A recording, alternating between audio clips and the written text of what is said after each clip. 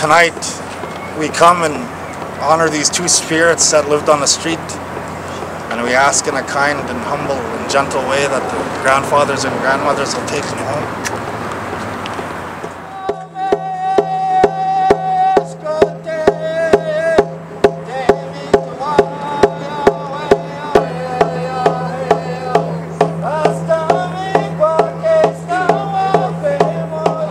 It's, it's tough on the streets of Winnipeg. We live in one of the most violent cities in Canada and uh, the homeless people live right in the core of it.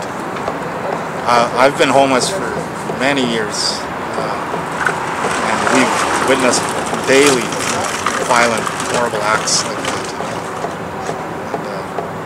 And, uh, the, the looking at, of how society looks at these homeless people, it, it has to change.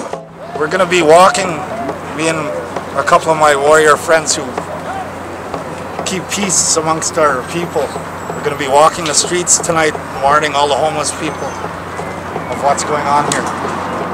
If you're going to be going out, to stay with friends. go with somebody you like to make sure to walk around with somebody. Yeah, yeah, well, yeah. Don't, don't be don't be alone by yourself at nights. I'm just going out warning people, doing patrol, telling people to stay safe. Uh, especially Native men, because everybody that's been targeted Oh, is dude, I'm gonna be. Native I have to right? leave like work at like two tomorrow. Yeah, no, just like if you're on the streets or if you see homeless people, maybe warn each other, you know. and Yeah. People stay in groups. All right, sounds good. No, they don't have them. It's still free. Okay, still free, man. Set large, right? Yeah, there's that large right now. Right, right, All right, you guys stay safe. Stay safe, brother.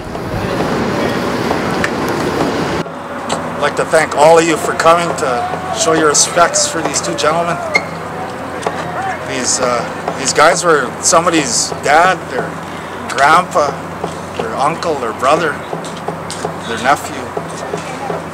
They're they're human, and a lot of people in the city don't look at the homeless people like the way they look at regular people. And these people, they, they like to laugh, they like to cry.